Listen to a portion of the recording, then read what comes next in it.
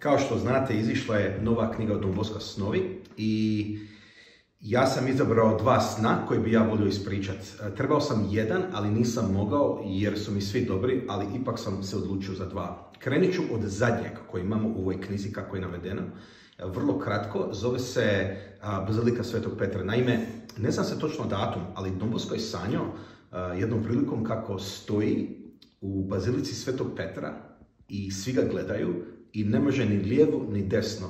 I on je malo iznad, on gleda dolje, vidi ljude kako vire, gledaju do njega. i gleda ispod sebe i vidi uh, kip Svetog Petra, onaj famozni kip Svetog Petra, kako Sveti Petar sjedi i svi diraju njegov palac i tako. I on se probudio.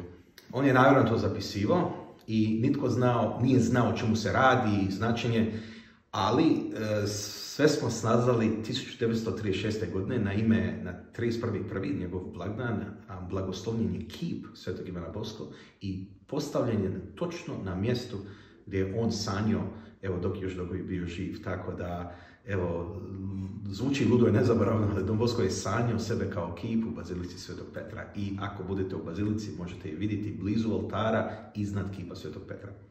Drugi san koji sam izabrao tiče se Salzijanske družbe, zove se, zamislite, Sotonska sjednica. I teško je zamisliti to, ali Don Bosco je sanjao kako sa strane promatra, gleda i sluša kako Sotona zajedno sa svojim vragovima zasjeda, imaju sastanak kako uništiti Salazijansku družbu. I to je bilo dosta dramatično.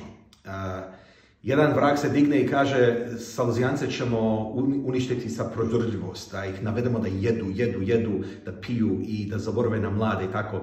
Jedan drugi vrag kaže dobro je to, ali nećemo uspjeti sve Salzijance tu dobiti.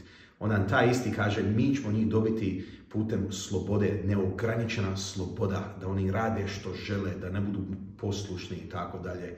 I, i, i treći vrag se digne kaže i to ćemo dobiti nekoliko, ali mi trebamo uništiti cijelu salazijansku družbu.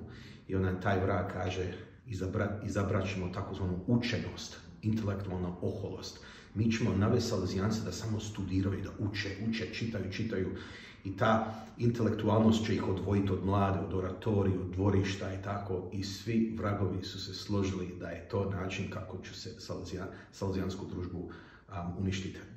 tada je se Don Bosco probudio i bio je još više uvjeren da mi Salezijanci naravno ne smijemo zanimariti učenost, ali moramo biti prisutni s mladima.